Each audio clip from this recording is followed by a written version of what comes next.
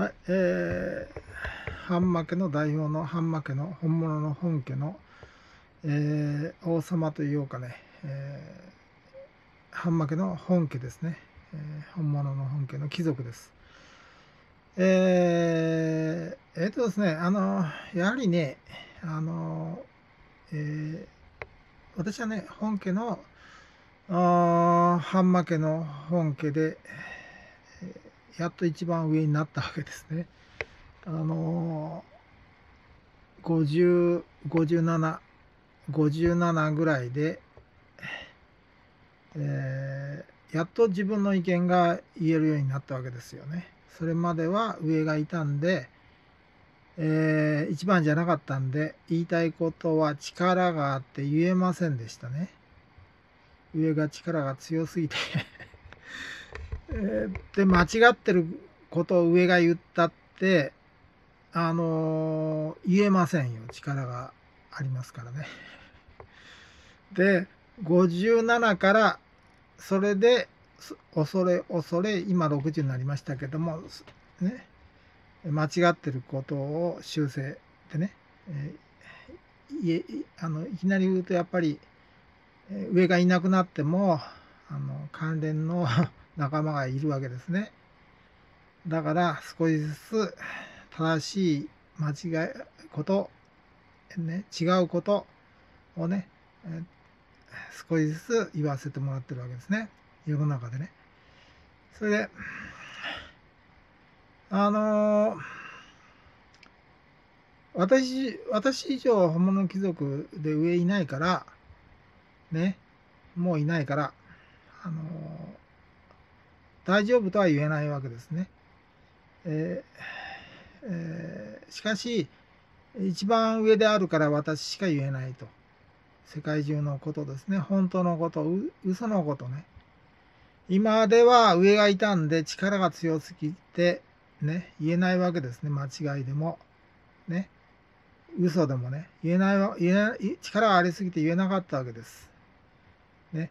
で、57歳で私は初めて世界一になったわけですね。本物の貴族なんでね。力が出せるかなということで、まだあの上がいなくなって一番、ハンマ家の本家の本物の貴族の一番の王様になったわけですね。世界中に貴族は全然もう滅んでいませんからね。私しかいないわけですよ。天皇家とかイギリスエリザベス氏は自分で昔お寺さんみたいなもんで名乗って大統領になったもので貴族じゃないわけですね。だから身分も私の方が全然上なんですよね。で、もっと古いしね、本物貴族。まず名前でしょ名前を持ってるという、その本家であるということですね。えー、半負けは800年、900年の歴史ですね。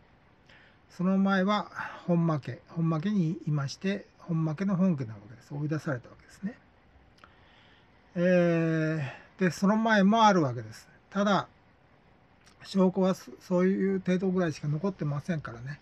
大体焼かれるもんなんですね。で、えー、どうしてわかるかと能力でわかるわけですね。普通とちょっと違うということが分かりますから、能力と生まれと体がちょっと違うわけですね。能力が全然人間と違うわけですね。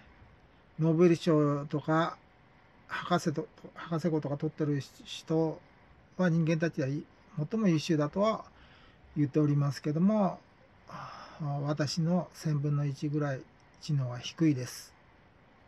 というのは私の方は何でもですから何あの何でも博士っていうのは人間のあれだから低いですけどもあの全部僕はの方ができますからね。科学だろうと技術だろうとね、えー、生物学者生物博士だろうと何でもね医学博士でも一番だしね。ということで大差があります。人間の場合は一つのものでしょ。科学だけとか、ね。えー、それと、そんなちょびっとじゃないんですね。すべてなんですね。で、すべてを作ることが大事なんですね。だから、あ誰が作っても、あ作ったりもどんな発明しても信用しませんし、もっと上作ります。あバグが入っちゃってると考えます。人間の能力では。ということでね、えー、そういうことでわかあの言えるわけですね。潰されてる書問なんかもね。なくても言えるわけです。で、とにかく上がいればやはり力強いんで何も言えません。間違ってても、大きなこと間違ってても、ね、嘘だろうと言えません。ね、これが切り開けたのは私は57歳の時です。私は昭和33年10月17日生まれですね。世界中はやっぱり上がいますでしょ？ね。上がいる間は一人でもいたら言えないんですね。強すぎちゃって。ね。ということをぜひ説明します。で、57歳ですぐ言えるかと。えー、実際のことね、私をたくさん記載していますけれども、YouTube のテレビに多く出てね、誰もアクセスしませんけれども、本当のことが言えるようになってきたわけです、少しですね。で、まだ危ないですね。あの、仲間がいますから。ね。ということだけども、一番頂点の上に地球で大統領大統領よりか上ですから私はね世界中のね言えるようになったわけですね。あの上がいる以上は言えなかったわけです57歳ですぐにも言えなかったですいなくなっても仲間が多少まだいますからね。それで自分が一番上だよという表明していかないと言ったらお前なんだということになる。何の身分だと言ってくるわけですね。ね。